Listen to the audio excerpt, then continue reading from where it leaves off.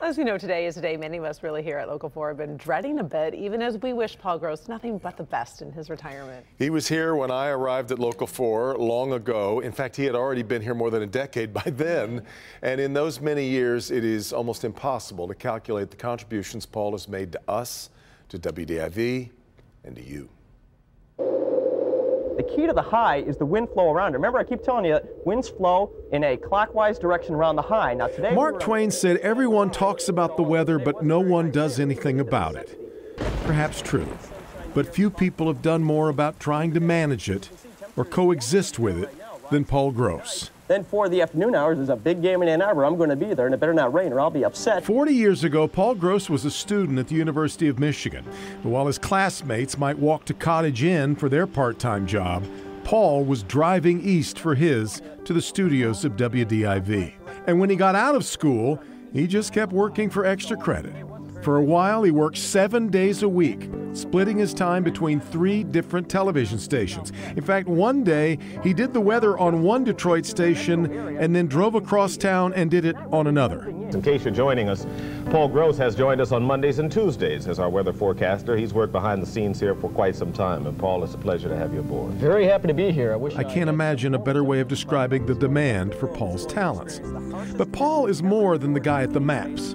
It's been a most remarkable day here in Geneva. The day began with an update on global warming. Paul was talking about climate change long before it was fashionable. In fact, the American Meteorological Society honored him for his ability to cover climate change without infecting it with politics. That's not easy. Geneva, Paris, Paul traveled everywhere to learn and share. He is a sponge. In fact, if you've got six or seven hours on your hands, just ask Paul about the impact of weather on, say, human warfare. The biggest obstacle facing the Nazis, however, was tremendous Allied air superiority, and the only way they could protect their troops was by grounding the Allied Air Force with an extended period of bad weather. Paul's documentary on the critical role of weather and weather forecasting on the D Day invasion of 1944 is one of the crowning achievements of his career and you can find it at the Dwight D. Eisenhower Presidential Library. I mean, it's not inconceivable that, you know, the temperature. Even when you weren't seeing Paul on the air, he was always an integral part of the forecast.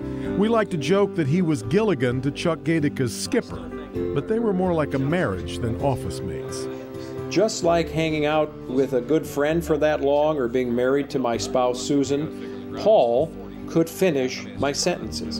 And I would walk in and say something like, you know, next Monday, we'd better watch out for a big, and he'd say snowstorm. I'd say, yeah.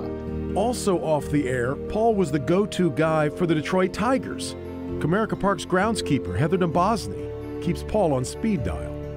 And maybe it goes back to that day that young Paul learned that the red spot on Jupiter is a massive storm larger than planet Earth. But Paul's scientific passions went well above our cloud cover. Celestial events thrill Paul to no end, and that has been most infectious. Chances are he's had you crawling outside in your pajamas at 4 a.m. to stare up at a rare alignment of planets or a showy meteor shower. Some scientists, in fact, believe that Titan resembles ancient Earth more than present day Earth does. And we're fairly certain that Paul has interviewed more astronauts, astronomers, and space researchers than just about anyone. Well, anyone down here, anyway. What we'll miss, what I imagine you'll miss, is Paul's passion for teaching. Now, admittedly, sometimes as students we're a little clueless, right, Steve? You always had a way of taking the most complicated information and making it simple enough that even I could understand it. I never cared about dew point until you explained it. But that never slowed Paul down or knocked him off his mission. It is a mission with a legacy. The next time your kids come home and tell you about the tornado drill that they had at school that day, just know that that's the result of the Gross Weather Bill. John Engler signed it into law in 1998 after Paul lobbied Lansing to take up the safety of Michigan's children. That is a real legacy. And that's why he's deserving of one himself. And for that reason, Paul Gross today becomes WDIV's first ever meteorologist emeritus.